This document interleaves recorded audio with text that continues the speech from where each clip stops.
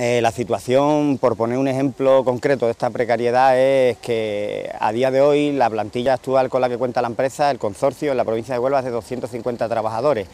y por ley, según el Real Decreto 836 de barra 2012 del 25 de mayo, se exigen dos técnicos de emergencia por cada, por ejemplo, por, un ejemplo, por cada unidad de urgencia.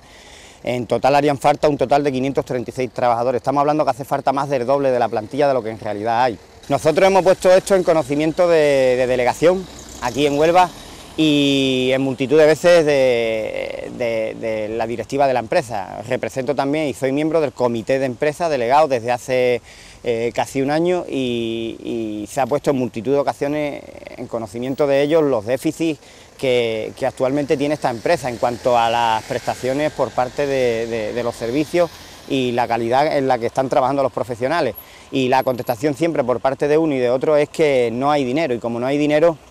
eh, no, se va, no, se va, no se van a poner estos medios hasta que no haya dinero. Algo que no nos entra en la cabeza, puesto que cómo han hecho ese presupuesto, por qué han cogido ese concurso, en base a qué, a qué, a qué estudio han cogido ese concurso. Me gustaría también poner de manifiesto eh, algo que nos está causando bastante asombro, que es la, propaganda que concretamente el consorcio de Huerva, eh, de mano del señor Antonio Díaz, eh, que es el, interlocutor de la empresa a día de hoy, está haciendo de caras al nuevo concurso y con unos datos que nos sorprenden, puesto que está afirmando que se ha hecho una inversión de más de 5 millones de euros en este año eh, cuando a nosotros, por ejemplo, a los trabajadores se nos ha hecho una inaplicación de convenio, en la cual se han visto mermados todos los derechos de los trabajadores considerablemente. Otro tema que me gustaría también poner de manifiesto y que creo que se debería conocer es las medidas opresivas que la empresa está tomando contra los sindicalizados de FCT, concretamente por nuestras quejas y por nuestras demandas, que empezaron desde el primer día en que nos afiliamos y, traímos este sindicato aquí, echando a cinco de nuestros afiliados a la calle. Eh, la empresa se vio obligada, porque como era de esperar, fue de forma ilegal, se vio obligado a llegar a una negociación y a reincorporarnos, pero desde entonces seguimos padeciendo la presión con sanciones que actualmente se encuentran en vía judicial. Tenemos en la actualidad más de 40 demandas abiertas contra la empresa. Pues mi caso es un poco particular porque yo trabajo guardias de 24 horas en, el Centro de Salud de La Cristina y en esas guardias no hay,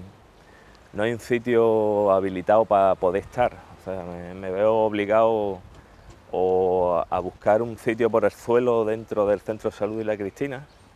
en alguna consulta donde se han atendido pacientes y, tengo que coger una colchoneta cuando no están, no están esas consultas habilitadas en uso para poderme descansar cuando en, en mis guardias de 24 horas no tengo tiempo para descanso. Pero cuando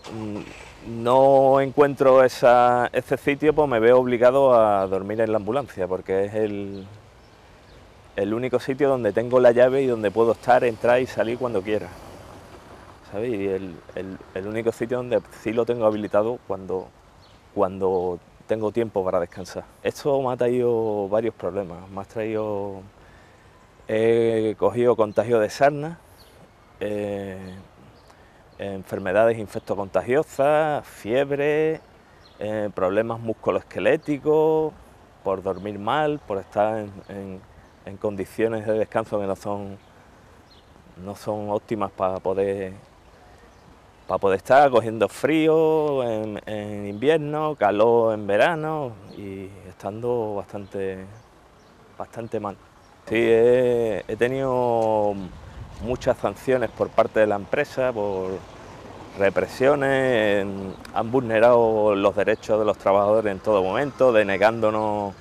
días de asuntos propios, no concediéndonos las vacaciones en los periodos en los que los solicitamos y, sancionándonos y quitándonos días de, dinero, o sea, nos quitan dinero y nos quitan días de trabajo.